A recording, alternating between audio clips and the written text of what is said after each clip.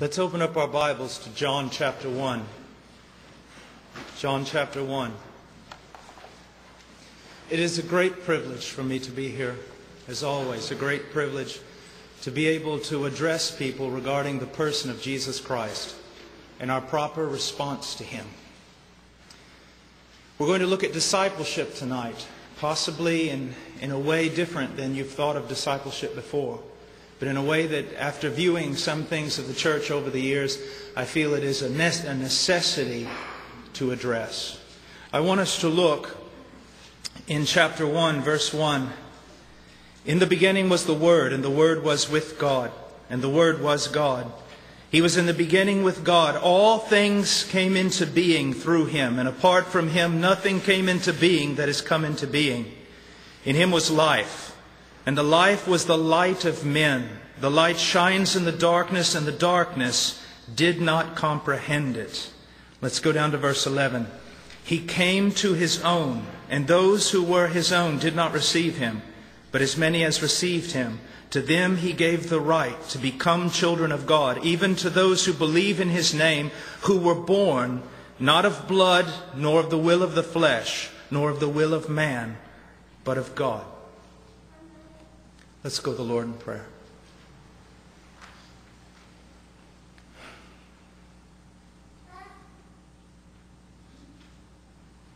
Father,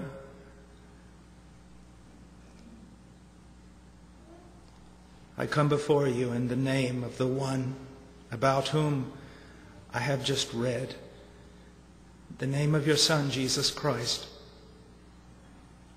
And Father, I praise you for him and ascribe unto him glory and honor and power and riches and wealth, worship and praise. He is before all things and will be when all things are gone. The world was made by him and through him, for him, in him. And it was your good pleasure, Father, that seen it to be so.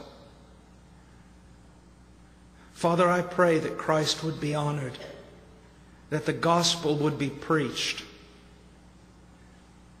that deception would be torn away, that truth would come,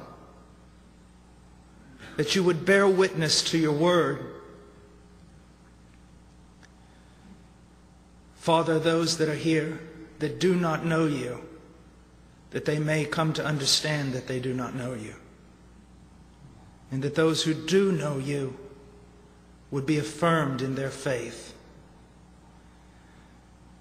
Father, all these things that I have asked you are great and mighty things and beyond the reach of the arm of the flesh.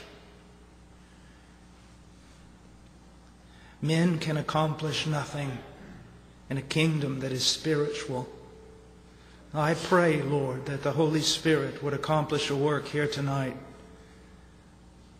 that he would give birth, that he would convict of sin and righteousness and judgment,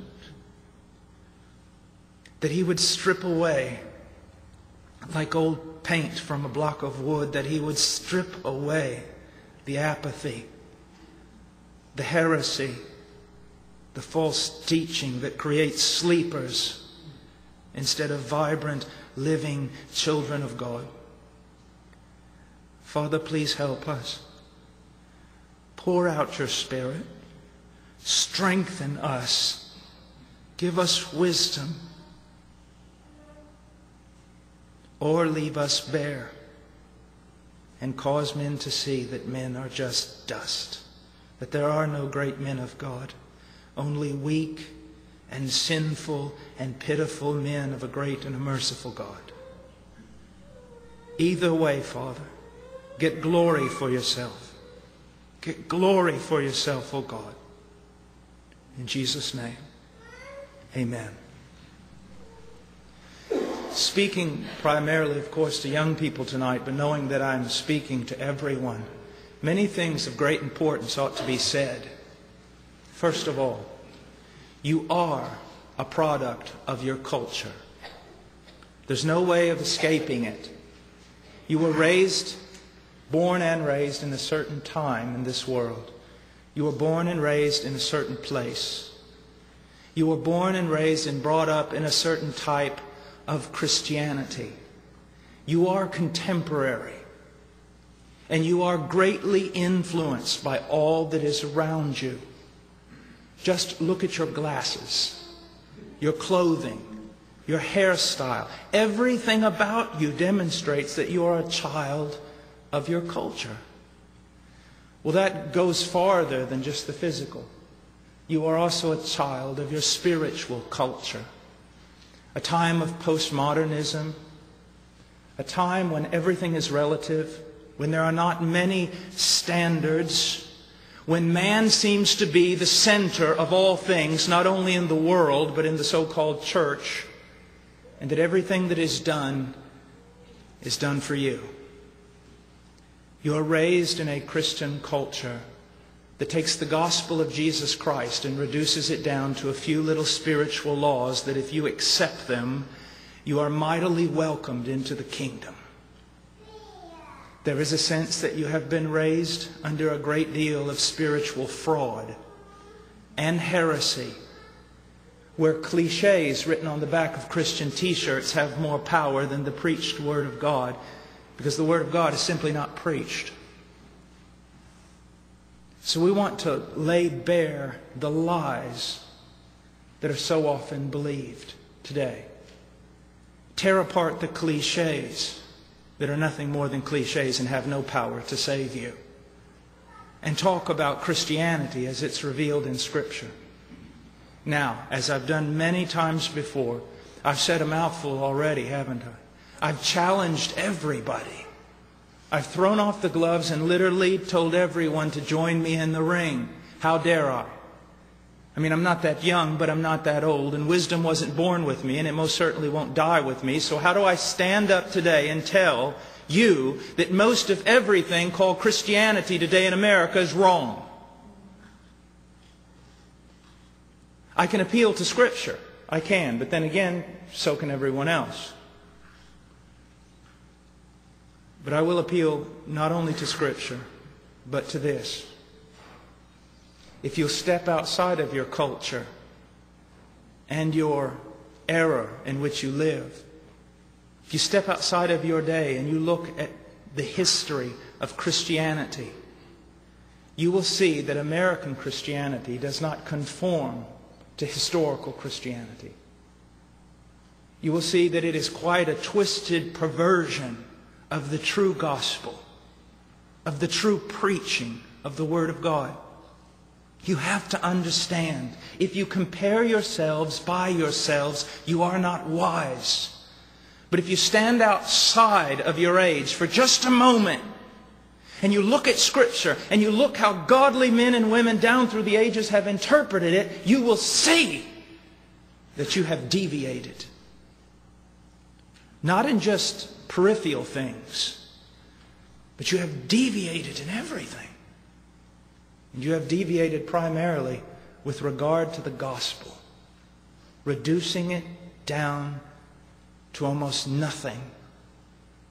And in a sense, blaspheming the very one who is the subject of the gospel. Now, I'm not here to play with you tonight. I'm not here to entertain you. I'm here to love you by telling you the truth. I want us to look at one of the most misunderstood passages in the entire Bible in verse 11. He came into his own, and those who were his own did not receive him. Now, the, the first thing I want you to see here is to interpret this verse 11 in the context of the first five verses. Look at this one who has come to earth. Look what it says about him. It says that he was in the beginning. It says that he was with God. It says that he was God. Do you understand that? This is not some small enterprise. This is not just some minor personality stepping out on the stage of history. This is not just a teacher or some prophet. This is the God of the universe, the center of all things, the creator of every breath you breathe. The maker of heaven and earth who has every right to claim absolutely everything. not only from the world, but from you. I believe it was Abraham Kuyper who said, when Jesus Christ comes back, he will stretch forth his hand and he will say, Mine, mine, mine, mine, mine. It's all mine. He came unto his own, and his own did not receive him. Immediate context, I think, probably speaking about the house of Israel that rejected its own Messiah.